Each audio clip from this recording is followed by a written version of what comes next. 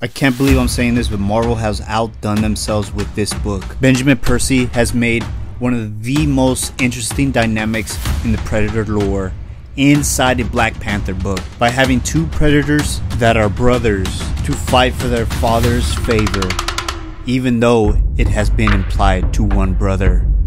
As he holds a spear for the entire clan, a spear made of vibranium. The one legged brother demanded that this hunt be decided to see who is a better brother. Honor was at stake, that they would both have to battle to the death, and perhaps the future of the throne. The fight did not go in the brother's favor as he wished it would be, if it weren't for that spear that father gave to him. Fear that that spear would make would break the entire army of his. Unfortunately, the battle cost him his entire army. What was he supposed to do? To live in his brother's shadow is to live with dishonor. The true strength of a Yautja did not come in just strength alone, but in his innovation as he molded technology into his body.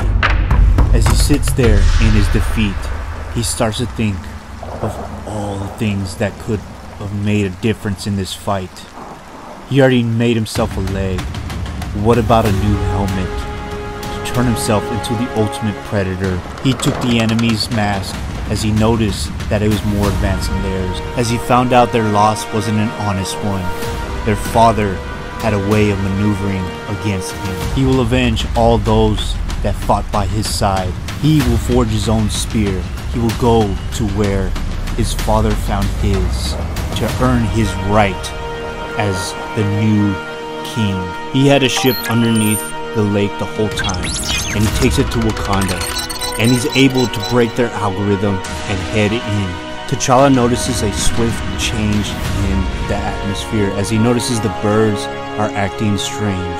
As he looks up into the air, he believes that they are about to be ambushed. Black Panther is one of the smartest men on the planet, and he will not be so easily afraid. But unfortunately for him, that makes him the most valuable trophy for the Predator. This Yautja and his squad have Black Panther in his sights. As T'Challa notices a bunch of birds with broken necks, there could only be one thing that there is something out there, something he can't explain. What he doesn't notice, he is in the crosshairs of a predator. And they shoot him down, but it's not enough because the vibranium suit held him intact, but it was so powerful it knocked him out. As he splatters into the jungle floor, the king has fallen. Now it is time to take down the kingdom. Shuri is on her way out of Wakanda. As she tries to start up communication, all of a sudden they are infiltrated by one of the predators. But the comm line was open still, as she was able to hear the last moments of what the security. As she tries to question it, the predator uses his mimicry. Help me, help me. It's a it's a it's a. While he was doing that, he was securing the perimeter to make sure she wouldn't be able to access it again. As she turns around saying there is something wrong, as the predator doesn't want interference, as the ship blows up outside and let the hunt begin.